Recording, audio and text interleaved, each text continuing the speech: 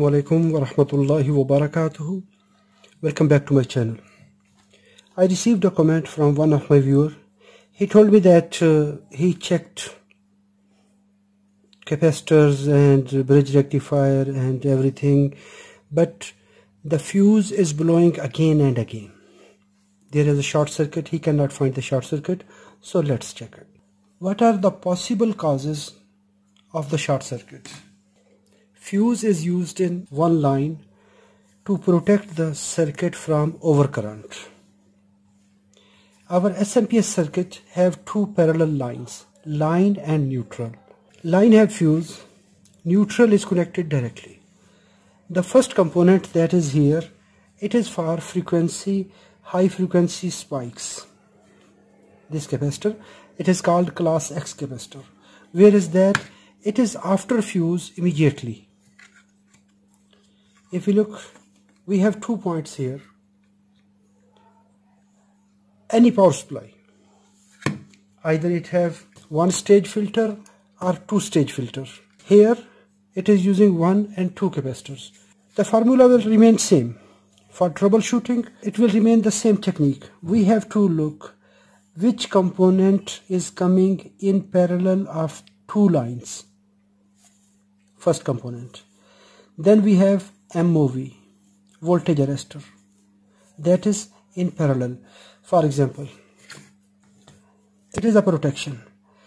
Sometime if any high frequency spike will come what will happen?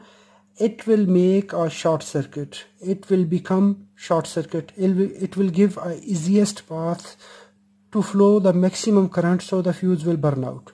So we have to check this capacitor then if the MOV voltage arrestor is short circuit the same. If capacitor is good if it will give a short circuit then the maximum current will flow from this point. Because these are protections. After that we have this inductor. So inductor is in series. Both inductor coils are in series.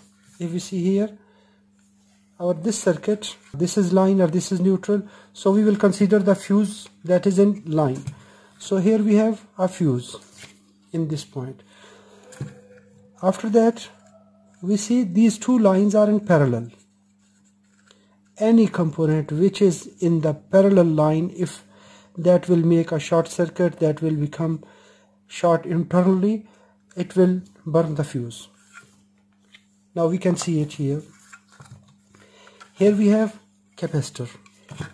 At this point capacitor if this class X capacitor will become short circuit due to any high frequency spikes or due to any reason so it will give a easiest path to here.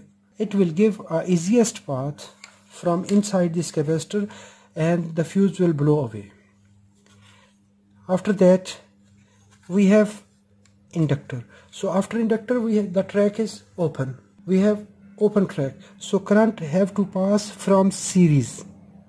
After series we have here capacitor another capacitor this one. So if this capacitor will make problem our fuse will blow away. If this capacitor is good voltage arrestor is good this capacitor becomes short circuit it will also give easiest path.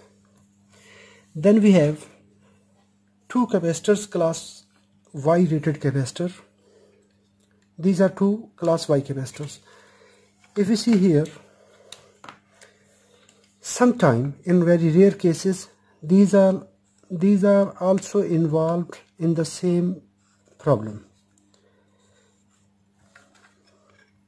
After this capacitor we have two capacitors. These two are in series from this point to this and this point to this. Sometimes these two become short circuits. When these two will become short circuit, it will also give the easiest path. In some cases, one of them will become short.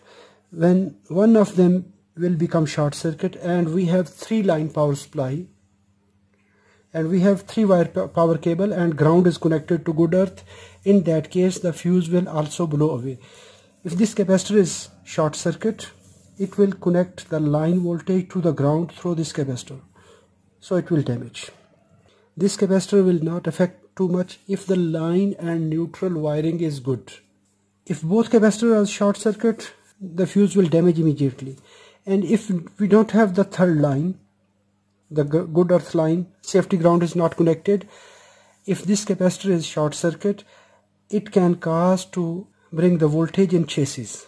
Then we have bridge rectifier and other biggest problem that is this capacitor because bulk capacitor it have continuously charging discharging and most of the time this capacitor is bad when it is bad it will damage the bridge rectifier and in more cases according to my experience two or four diodes of bridge rectifier get damaged.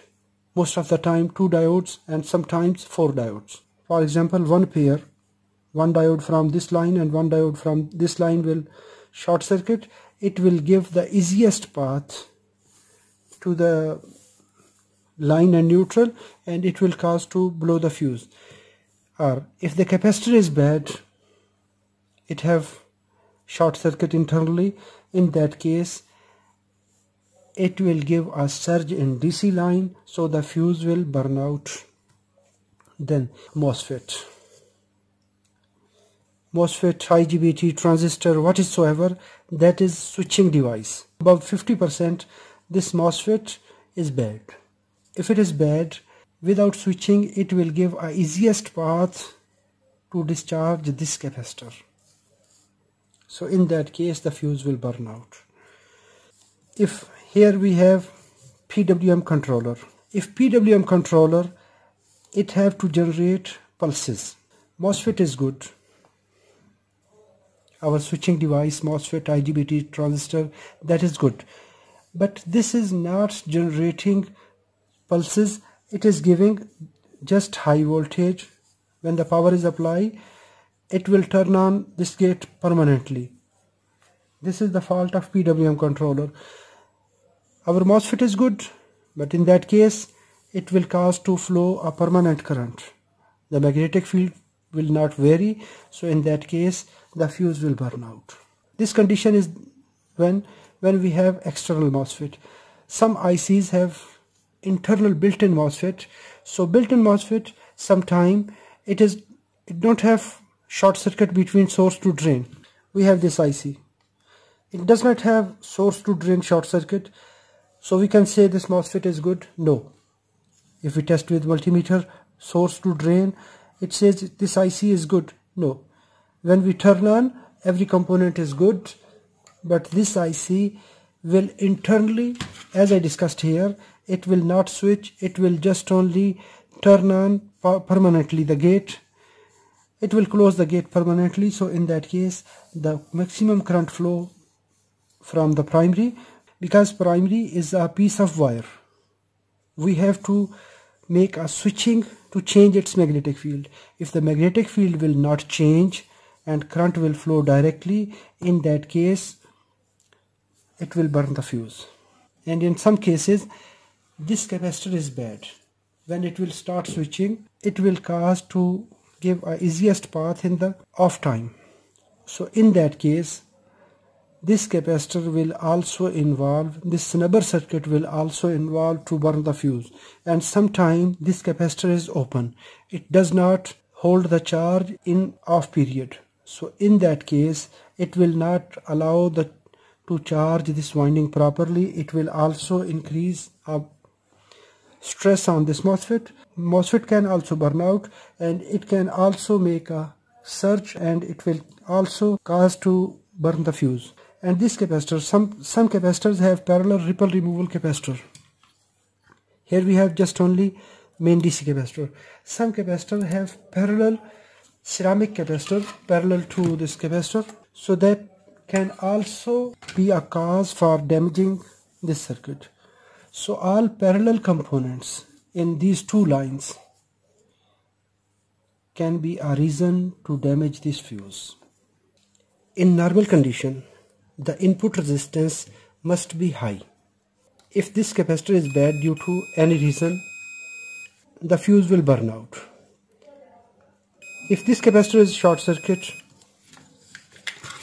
if this capacitor this capacitor or this pair is short circuit the fuse will burn out if our this capacitor is bad it will cause it will also be a cause for damaging this fuse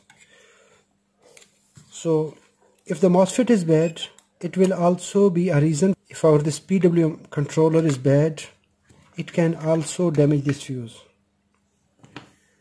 So friends i hope so this video is informative for you. If it is informative give a thumb up. If you have not subscribed my channel subscribe it. Thanks for watching. Assalamu alaikum warahmatullahi wabarakatuh